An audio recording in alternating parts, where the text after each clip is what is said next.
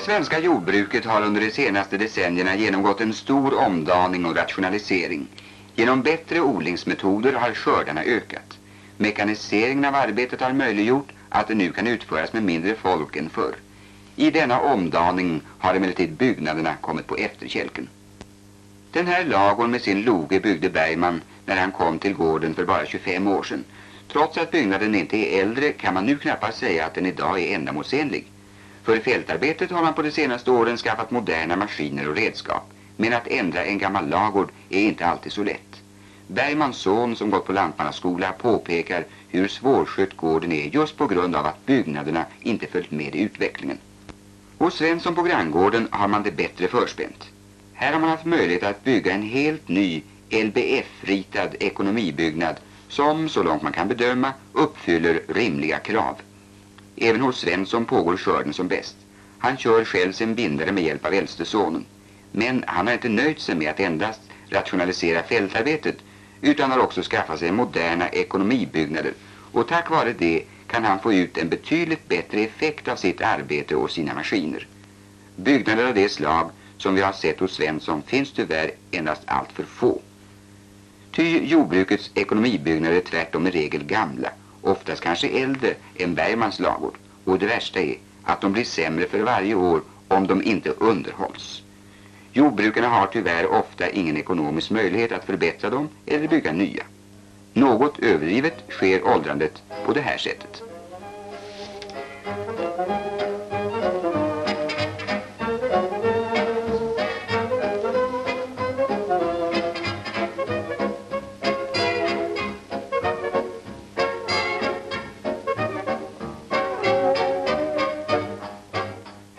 En väsentlig orsak till att det inte byggs nytt är att det är så dyrt att bygga om man vill ha den standard på byggnaderna som behövs för rationell drift.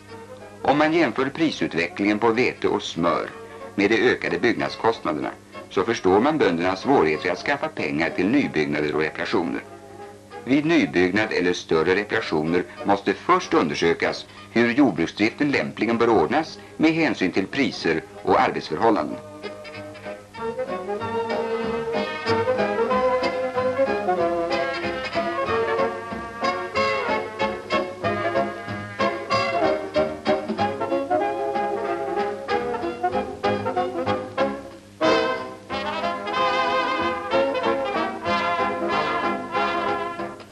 Planeringen måste inriktas på att minska och underlätta arbetet, vilket enklast sker genom lämplig förläggning av de olika byggnaderna och arbetsplatserna. Hos Svensson har man slagit ihop alla dessa hus till bara tre. Bostadshuset, ett särskilt maskinhus som vi ser till vänster och den stora ekonomibyggnaden som är Svenssons stolthet. I denna finns åtskilligt dyrbar utrustning som sparar arbete och därför bör betala sig. Hos Svensson är lagen planerad så att arbetet blir lättskött. Byggnaden är också gediget utförd. Den höga kvaliteten kan löna sig genom att underhållskostnaderna blir mindre. Hos Svensson ligger byggnaderna väl placerade i förhållande till fälten. Man kommer direkt in på logen där hölass och sädeslass kan lastas av med hissen. Gödselstaden ligger på baksidan av byggnaden och skämmer inte utseendet från gårdsplanen. Utfartsvägen är väl planerad så att utkörningen av gödseln till fälten klaras lätt. Vi ska nu närmare se hur den här lagen fungerar. Svensson håller just på med att tömma kraftfoder i inomhussilon vars kant når så högt över golvytan att Svensson inte behöver riskera att falla ned. Här finns nu foder för en vecka i taget och sen behöver ingen springa upp på magasinet varje gång det ska utfodras. Svensson tappar sen kraftfodret direkt i en gummihjulskärra. Och den kör han sen ut på foderbordet och fördelar det. Tack vare gummihjulskärran går arbetet lätt och han slipper bära fram kraftfodret. Eh, men Svensson, det där är väl inte den riktiga foderskopan, eller hur? Men det tycks ju gå bra i alla fall. Vid långbåset som Svensson tycker bäst om kan utfodringen lätt ske då fodergrindarna är stängda och sedan han fördelat fodret öppnar han grindarna. I vissa delar av Sverige föredrar lantbrukarna istället kortbåset. Det medför något lägre byggnads- och renhållningskostnader.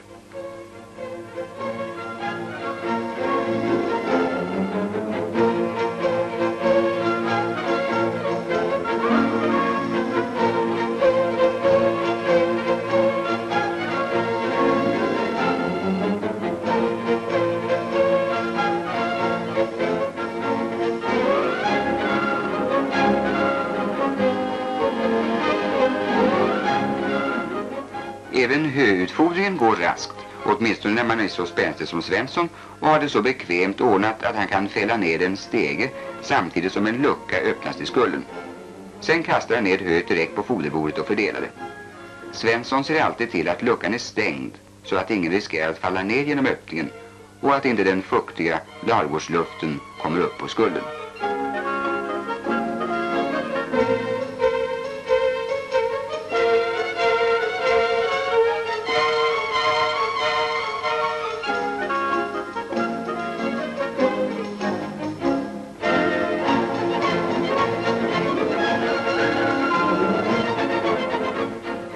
Även utgödslingen klarar Svensson lätt och det sker med hjälp av en annan gummihjulskärra. Detta arbete är ett av de tyngre i lagon. När man på vintrarna måste köra ut kärran till gödselstaden på smala och hala landgångar bör man samla för att inte halka. Gödselvården är väl ordnad. Genom ett särskilt urinavlopp med rensbrunnar avskiljes urinen från gödseln. Samma avlopp är också ordnad från kalv- och svinboxarna vilket förbättrar ladugårdshygienen. Urinen rinner slutligen genom en slamavskiljare till en betongbrunn. Genom en lucka kan den sedan pumpas över till gödselvattenspridaren. Denna lucka är tättslutande så att inte det värdefulla kvävet avdunstar från urinen. Även pressvattnet från gödselstaden tas tillvara och rinner ned i urinbrunnen. Kalvboxarna kan plockas isär på ett enkelt sätt och rengöras. Om mellanväggen borttas kan man ha större kalvar i boxen. Utfodringen med skummjölk sker lätt och behändigt med hjälp av en enkel spannhållare. Här behöver man inte vara rädd för att kalvarna ska slå omkull mjölkspannarna. Svensson har också några gödsvin i ett par boxar. Och när man inte har fler så går det bra att ha dem inne i själva lagon. Men man måste hålla rent och snyggt i boxarna. Utfodringen sker i glaserade krubbor som är lätta att hålla rena och inte förstörs av fodret. Gården har bara en häst som har sin spilta i själva lagon och för utfodringen är det även här väl ordnat. Vatten till djuren ordnas med hjälp av den tillvaratagna tryckluften från mjölkningsmaskinpumpen som pressar vattnet till en behållare varifrån den ledes bland annat till vattenkopparna hos korna. Genom en enkel regulator hindras vattnet att rinna över kanten och som regel är vattentillförseln så god att korna kan dricka sig otörstiga. Vatten finns även indraget i mjölkrummet och till tappställen inne i lagon. Mjölkningen sker naturligtvis med maskin. Den elektriska motorn och pumpen sitter i ett särskilt litet motorrum. Idag har fru Svensson kommit ner i lagen på väg till hönshuset. De yngre korna mjölkas helt och hållet med maskin.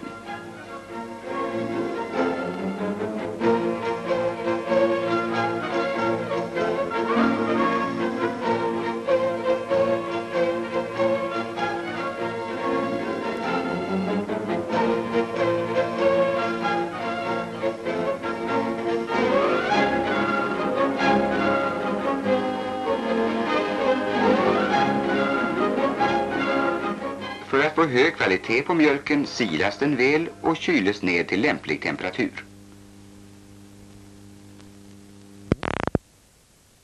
Med stor noggrannhet.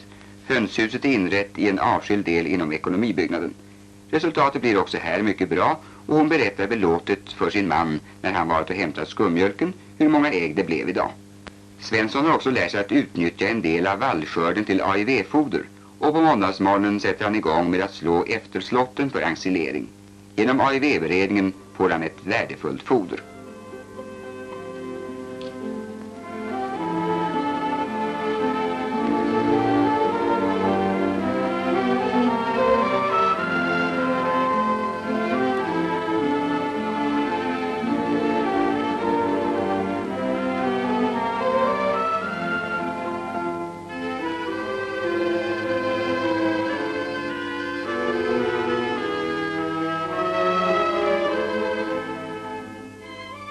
Hissen för snabbt upp lasset till avlastningsplanet vid silons överkant. För att få accelereringsvätskan jämnt fördelad tippar han inte hela lasset på en gång utan kastar ner fodret för hand. AIV elektriska motorn flyttas lätt till olika arbetsplatser på gården. På lämpliga platser finns elkraft framdragen och inkoppling går snabbt. Motorn ska nu användas till hissen. En av de största fördelarna med ett höghus är att man kan använda hiss för avlastning och transport av hö en plats man önskar. Den elektriska motorn användes givetvis även vid tröskningen. Svensson har nämligen ett eget litet tröskverk. Han vet att tröskningen kräver försiktighet och han ser noga till att ingen ovan person får mata tröskan. Havren ser fin ut i år, konstaterar Svensson belåtet, men så har han också haft prima utseende. På olika sätt har man sökt minska brandriskerna. De elektriska installationerna är väl planerade. Vi ser här den elektriska centralen som hålls i god ordning. Takbeläggning av eternit eller tegel är ur brandsynpunkt att föredra. Åskan går ofta i de här trakterna, men även det är man beredd på. En åskledaranläggning eliminerar nästan helt riskerna vid nedslag. På alla uppskjutande delar av huset är spetsar placerade och hela anläggningen är väl jordad. Till god hygien i lagorn hör en ändamålsenlig och välskött ventilation. Denna stora ventilationstrumma gör att luften i lagorn byts flera gånger i timmen. Friskluften kommer in under fönstren. Behövs det kraftigare vedring kan fönstren öppnas. Till god hygien hör också att lagorn då och då görs ordentligt ren. Särskilt viktigt är att svinboxarna sköts väl. Utgödsling här bör ske varje dag och det skadar inte att emellanåt spola golvet med vatten. Med de nya insektdödande preparaten är det möjligt att bli av med de besvärliga flugorna. En bra ordnad elektrisk belysning gör att man kan arbeta ostört även efter mörkrets inbrott. Den gård vi nu sett har en hel del fördelar jämfört med den gård Bergman brukade. Men nackdelen med denna nya byggnadstyp är att dess årskostnader är alltför höga i förhållande till vad jordbruket kan betala. Egendomarnas taxeringsvärde som för 50 år sedan inte obetydligt översteg byggnadsvärdena är däremot nu mindre än byggnadsvärdena. Något jordvärde finns därför numera inte. Genom det koncentrerade byggnadssättet har dessutom brandriskerna ökat påtagligt.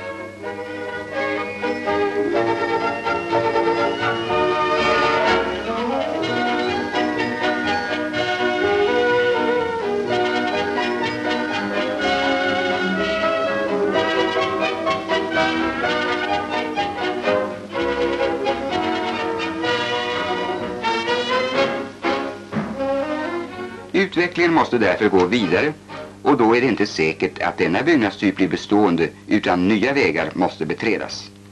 Maskinstationer och nya metoder för vall- och spannmålsskörden kommer att medföra en revolution beträffande ekonomibyggnaderna. Logen kan undvikas. Inte heller den gamla höskullen behövs då längre. Istället byggs ensileringstorn.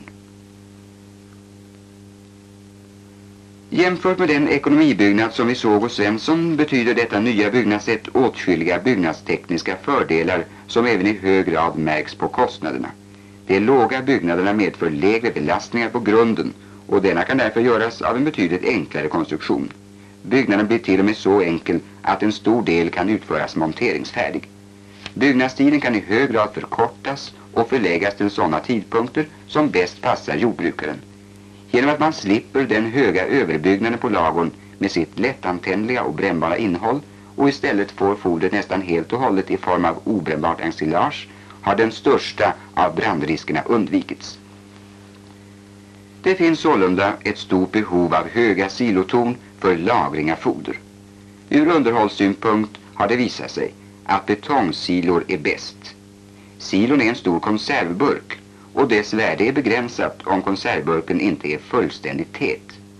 De förluster som görs om man vid byggandet av en silo uteslutande ser på anläggningskostnaden är betydande. Silon byggs av specialutbildade arbetare. Sedan schackningen är klar gjuts en grundplatta under silon för det fall att markens bärighet är ringa. I många fall erfordras inte någon sån platta utan silovägarna kan ställas direkt på marken. Gjuthastigheten är betydande. En 10 meter hög silo gjuts på två dygn av sammanlagt tre arbetare. Sedan silon gjutes till full höjd sänks formarna till marken och nedmonteras. Tack vare siloton och moderna ensileringsmetoder öppnas nya möjligheter även då det gäller att modernisera äldre byggnader. Nu behöver man inte längre ändra den gamla byggnaden utan kan nöja sig med att bygga till ett lämpligt antal silotorn till de mest betungande arbetena hör utgödslingen. Det kan därför i vissa fall löna sig att mekanisera detta arbete. Gödseln förs ut med hjälp av skrapor och faller sedan direkt på en vagn som körs ut på fälten och sprids vid de årstider då detta är lämpligt. Vi ska nu lite närmare titta på den mekanisering som är förutsättningen för det förändrade byggnadssättet. Vallskörden slås här med en maskin som är direkt kopplad till traktorn och som samtidigt stränglägger fodret. Efter förtorkning kommer en slotterlastare som först skär fodret och sen helt maskinellt lastar det direkt upp i vagnen. Olika maskintyper har här prövats men den rätta lösningen för svenska förhållanden har nog ännu inte kommit till marknaden. Maskinförsörjningen för det mindre och medelstora jordbruket måste här ordnas genom maskinstationer. Detta system förutsätter en ensilering av vallskördarna på sådant sätt att fodret helt eller delvis kan ersätta höet. Man kan därför inte använda sådana ensileringsvätskor som begränsar de kvantiteter som djuren dagligen kan äta. Intagningen av grönmassan i sidotoning sker med fläkt eller med mekanisk uppfodring. Uttagningen av foder kan också ske helt mekaniskt. Skörd av spannmålen med skördetröska har blivit allt vanligare. Det tunga arbetet under denna årstid försvinner härigenom. Maskinstationerna kan här liksom vid vallskörden hjälpa de mindre jordbruken på för dem ekonomiskt förmånliga villkor. Den skördetröskade brödsäden körs direkt från fälten till centralföreningens spannmålstork.